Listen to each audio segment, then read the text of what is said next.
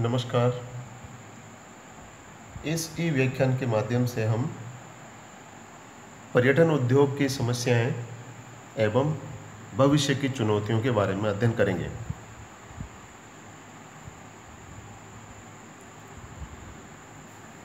पर्यटन ही एकमात्र ऐसा उद्योग है जिससे देश की अर्थव्यवस्था को सुदृढ़ बनाने के साथ ही बड़ी संख्या में लोगों को रोज़गार के अवसर उपलब्ध कराए जा सकते हैं। इस सबको जानते हुए भी अपेक्षा के अनुरूप हम पर्यटन उद्योग का कार्य निष्पादन अभी भी नहीं कर सके हैं। कमज़ोर इच्छा शक्ति, लाल फिताशाही, देश में होने वाली आतंकवादी वारदातें, जन अपराध आम जन की उद्योग के प्रति उदासीनता, केंद्र राज्य संबंधों में अक्सर होने वाली कड़वाहट, अपर्याप्त सुविधाएँ, पर्यावरणीय दुष्प्रभाव आदि बहुत सी ऐसी अड़चने या यूँ कहें कि बाधाएँ हैं। पर्यटन उद्योग में जिनके कारण व्यापक संभावनाओं के बावजूद पर्यटन का विकास देश में पूरी तरह से नहीं हो सका है। पर्यटन उद्योग की मुख्य समस्याएँ और चुनौतियाँ इस प्रकार से हैं, जिसमें सबसे पहली हैं आम जन की उदासीनता, जो कि पर्यटन उद्योग की सबसे बड़ी समस्या है। अभी भी यह व्यवहार में जन उद्योग नहीं बन पाया है। आम लोगों की भागीदारी नहीं होने का ही परिणाम है। कि पर्यटन को विकास के एक साधन के रूप में अभी भी देश में अपनाया नहीं जा सका है। पर्यटन स्थलों पर गंदगी का साम्राज्य, ऐतिहासिक एवं सांस्कृतिक धरोहर स्थलों के संरक्षण के प्रति बेरुखी आदि आम जन की पर्यटन उद्योग के प्रति उदासीनता को ही दर्शाती हैं। इस उदासीनता के कारण ही पर्यटन स्थलों पर कई बार पर्यटकों के साथ बदसलूकी की घटनाएँ भी घटित होती हैं। दूसरा जो मुख्य कारण है, वो है जन अपराध वर्तमान समय में समाज में तेज़ी से बढ़ रहे अपराध भी पर्यटन विकास को बाधित करते हैं। डकैती, लूटपाट, गुंडागर्दी आदि की घटनाओं के निरंतर घटित होने के समाचार जब मीडिया की सुर्खियों में बनते हैं तो इससे उस स्थान विशेष की छवि खराब होने के साथ ही पूरे देश की पर्यटन छवि को नुकसान पहुँचता है। बढ़ते जन अपराध समाज के लिए तो चिंता का विषय बनते ही हैं। पर्यटन पर भी इसका अत्यधिक बुरा प्रभाव घटती पर्यटकों की संख्या के रूप में सामने आता है। बस में, ट्रेन में नशीला पदार्थ खिलाकर यात्रियों से लूटपाट करना, छीना झपटी के द्वारा पर्यटन स्थलों पर पर्यटकों के प्रवेश से करते ही पूर्व नियोजित योजना के तहत उन्हें ठगने की साजिश आदि अपराधों से पर्यटन उद्योगों, पर्यटन स्थलों पर असुरक्षा का माहौल भी बनता है। ऐसे में बहुत से देशों द्वारा तो अपने निवासियों को भारत न जाने की सलाह तक वहाँ की सरकारें देने लगी हैं। तीसरा जो मुख्य कारण है वो है असंतोष, हड़ताल एवं आंदोलन। देश में समय समय पर पैदा होने वाले असंतोष के वातावरण, हड़ताल एवं विभिन्न आंदोलनों से भी पर्यटन उद्योग को नुकसान पहुँचा है। विश्व में भारत ही ऐसा देश है जहाँ पर हड़ताल होने पर काम रोक दिया जाता है। रेलें, बस आदि रोकने का प्रयास किया जाता है। और तो और, हड़ताल में बाज़ार बंद के साथ साथ सामान्य कामकाज को ठप करने की प्रवृत्ति भी भारत में ही सर्वाधिक है। परिवहन, बैंकिंग, बीमा आदि के कार्य भी हड़तालों के कारण ठप हो जाते हैं। बार बार इस प्रकार के कार्य होने से पर्यटन उद्योग पूरी तरह से चरमरा जाता है। कई बार पर्यटक ऐसे स्थान पर भी फंस जाते हैं। बस, रेलें आदि रोके जाने, बाज़ार बंद होने के कारण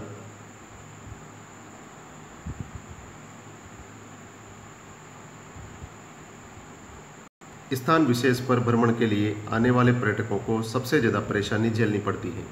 इससे कालांतर में उस स्थान की ही नहीं बल्कि पूरे देश की छवि धूमिल होती है। अगला जो मुख्य समस्या है, वो है यौन उत्पीड़न की। पर्यटन स्थलों पर पर्यटकों के साथ साथ छेड़छाड़ की घटनाओं के साथ ही इधर के वर्षों में निरंतर बढ़ती यौन उत्पीड़न की घटनाएँ पर्यटन उद्योग के लिए विशेष रूप से खतरा बनकर सामने आ रही हैं।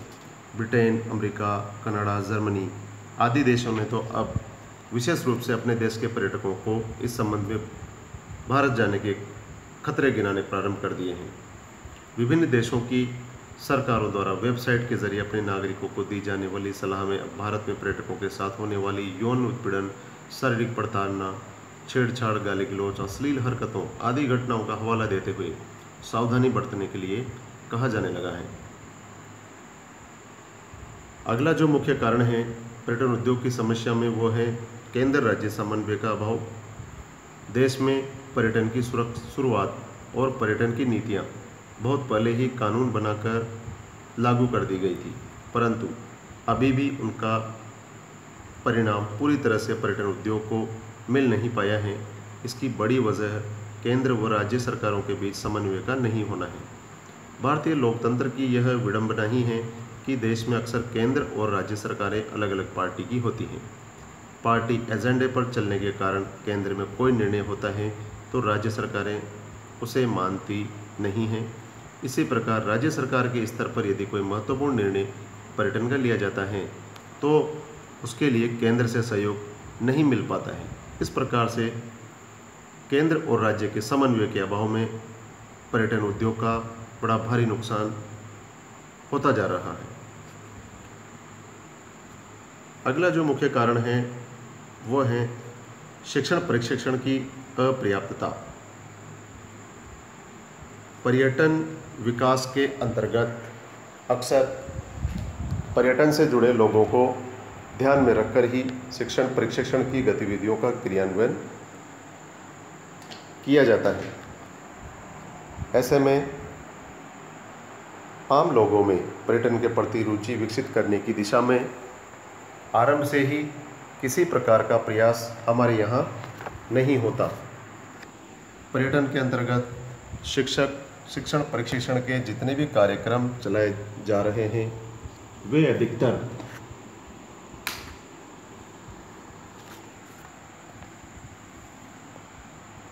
या तो पर्यटन से जुड़े लोगों के लिए हैं, या फिर विश्वविद्यालयों, प्रबंध संस्थानों के अंतर्गत अध्ययन करने वाले विद्यार्थियों के लिए होते हैं।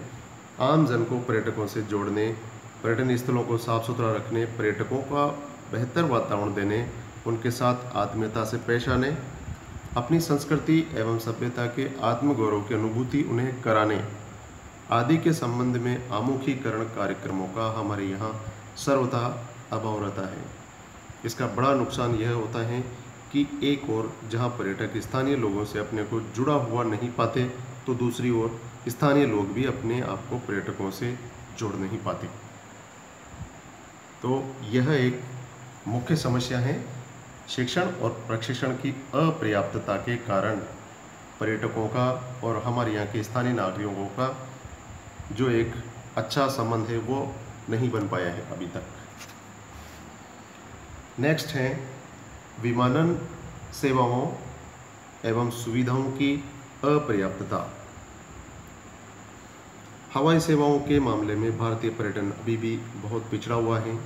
हाल ही के एक सर्वेक्षण के अनुसार भारत आने के लिए देश में न तो पर्याप्त विमान सेवाएँ हैं और न ही अंतर्राष्ट्रीय हवाई अड्डे और यात्री सुविधाएँ हैं।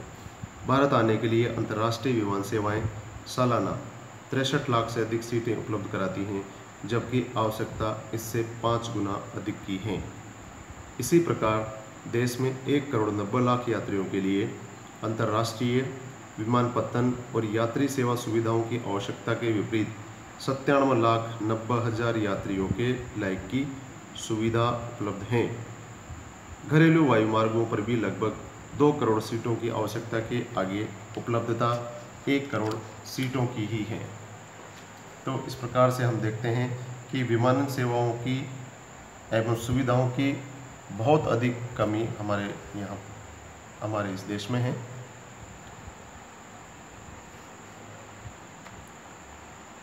अंतर्राष्ट्रीय विमान सुविधाओं के विस्तार के साथ ही घरेलू विमान सेवाओं में भी अभी बहुत अधिक सुधार की आवश्यकता है।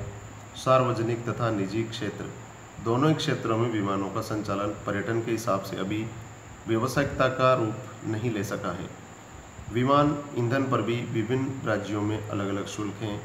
निजी विमानों के लिए हवाई अड्डों के किराए, आंतरिक वायु यात्रा करों तथा संचालन संबंधी अन्य खर्चों को देखते हुए घरेलू विमान कंपनियाँ मौजूदा ढांचे के सहारे अधिक समय तक टिक पाने की स्थिति में नहीं है। अगला जो मुख्य कारण है, वो है पेशेवर कुशलता एवं अन्य बाधाएँ। पर्यटन की सबसे बड़ी बाधा आज देश में यही है कि इतने वर्षों के बाद भी पर्यटन का प्रबंधन पेशेवर रूप में, प्रभावी रूप में सुनिश्चित नहीं किया जा सका है। यह विडंबना की बात है कि पर्यटन को हमने उद्योग तो घोषित कर दिया, परंतु इस बारे में विचार अभी भी नहीं किया जा सका है कि क्या दूसरे उद्योगों की तरह पर्यटन का प्रबंध भी यहाँ किया जा सकता है। वस्तुतः सिद्धांत में तो हमने पर्यटन को उद्योग घोषित करने की पहल कर दी, परंतु व्यवहार में अभी भी पर्यटन उद्योग का रूप नहीं ले सका है। यही कारण है कि पर्यटन के अंतर्गत नियोजन, समन्वय, निर्देशन, नियंत्रण, मानव संसाधन, विकास आदि को प्रभावी रूप में अमली जमा हम नहीं बना सके हैं। तो इस प्रकार से आज के इस ई व्याख्यान के माध्यम से हमने पर्यटन उद्योग की समस्याओं के बारे में अध्ययन किया और भविष्य की जो चुनौतियाँ हैं, उनके बारे में अध्ययन किया। धन्यवाद।